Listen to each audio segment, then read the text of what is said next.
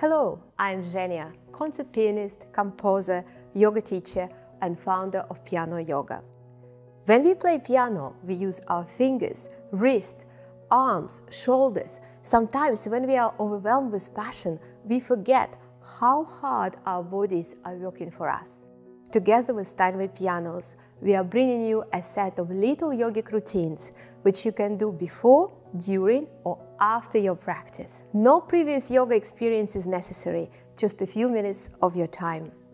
Surrounded by these gorgeous pianos at the Steinway Hall of Fame in London, I hope that these routines will bring you an inspiration and also relaxation and focus. Namaste.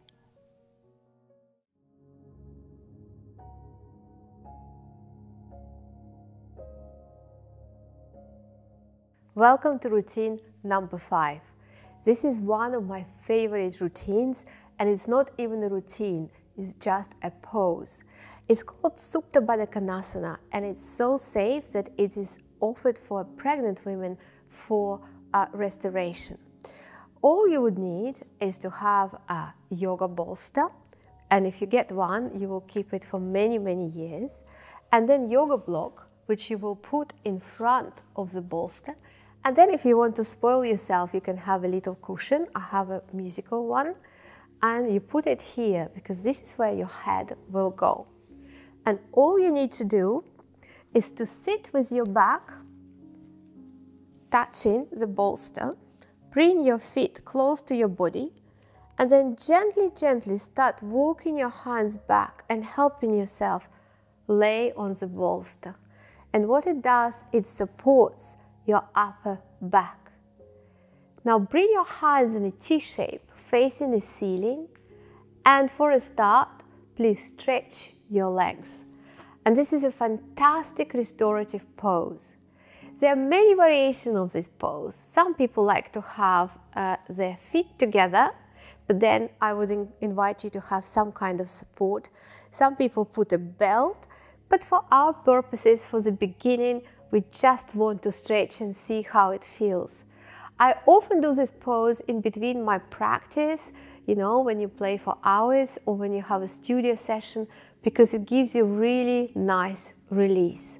If you're at home, you may want to pop in a blanket or an eye mask, and you may decide to stay here for three minutes, five minutes, 10 minutes, or 15 minutes. And let's just take a few breaths.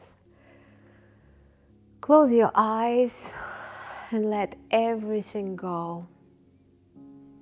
You can deepen your breath if you feel it, your body needs it. And then some of you may want to continue laying in this pose, so please do.